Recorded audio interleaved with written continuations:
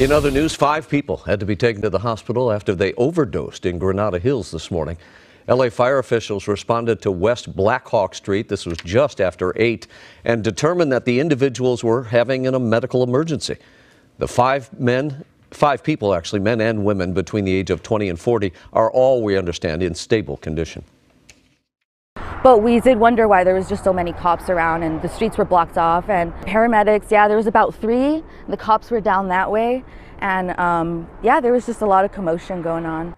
And now the specific substance that these individuals overdosed on, we don't know at this point, but the investigation is still ongoing.